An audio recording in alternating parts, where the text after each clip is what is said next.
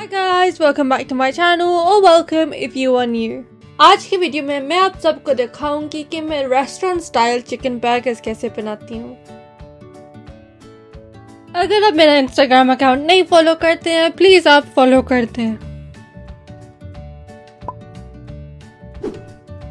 सबसे पहले हम चिकन को सीज़न करते हैं। हमें चाहिए आधा किलो चिकन का कीमा एक छोटी चम्मच नमक और थ्री क्वार्टर छोटी चम्मच चीनी।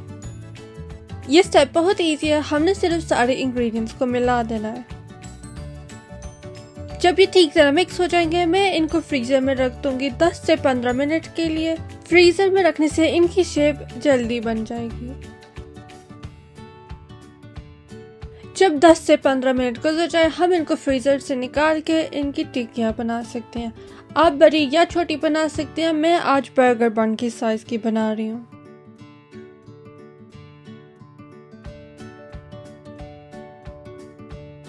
जब इनकी शेप तैयार हो जाएगी, मैं इनको दोबारा फ्रीजर में रख दूँगी 10 से 15 मिनट के लिए कि ये सख्त हो जाए और टूटे नहीं।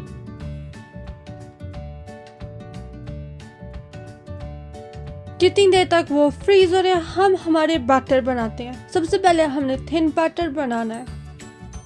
ये बनाने के लिए हमें चाहिए क्वार्टर कप कॉर्नफ्लावर और 240 मिलीलीटर पानी। हम दोनों इंग्रेडिएंट्स को मिक्स कर देंगे। आप कोशिश करें कि आप एक बोल यूज़ करें जिसके अंदर वो चिकन पैटीज पूरे आ जाए। अब हम ड्राई मिक्सचर तैयार करते हैं। ये वाले मिक्सचर के लिए हमें चाहिए थ्री कप प्लेन फ्लावर एक बड़ी चम्मच नमक एक छोटी चम्मच व्हाइट पेपर और एक छोटी चम्मच अजवाइन का पाउडर एक बड़ा मिक्सिंग बोल लेके इसके अंदर हम सारे इंग्रेडिएंट्स ठीक तरह मिक्स कर देंगे। हमें चाहिए कि फ्लावर के अंदर मसाले ठीक तरह मिक्स हो जाए। हमारा सबसे आखिरी बैटर वेट बैटर है। इसके लिए हमें चाहिए आधा कप कॉर्नफ्लावर दो अंडे वन एंड अ क्वार्टर छोटी चम्मच बेकिंग पाउडर क्वार्टर छोटी चम्मच baking soda three quarter cup plain flour और 240 मिलीलीटर ठंडा पानी इसके लिए भी हम एक बार मिक्सिंग बोल लेंगे और उसके अंदर सारे इंग्रेडिएंट्स मिक्स कर देंगे। ये वाला बैटर लेकिन रानी होगा।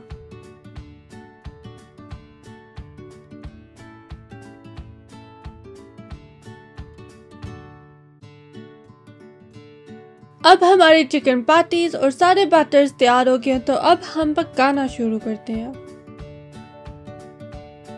सबसे पहले मैं चिकन को कॉर्नफ्लावर मिक्सचर में डालूँगी, फिर मैं ड्राई मिक्सचर में और फिर आखिर में मैं लिक्विडी बैटर में डालूँगी।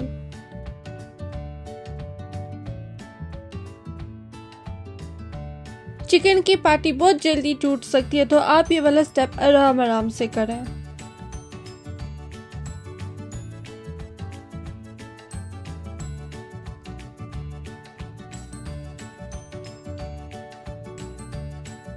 अब हम इसको आराम से गर्म ऑयल के अंदर फ्राई कर लेते हैं।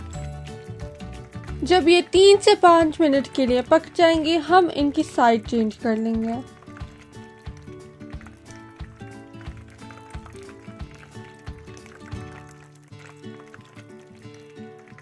जैसे जैसे ये पक रहे हैं किचन से बहुत मज़ेदार खुशबू आ रही है। आई विश के आप भी खुशबू सूंघ सकते हैं।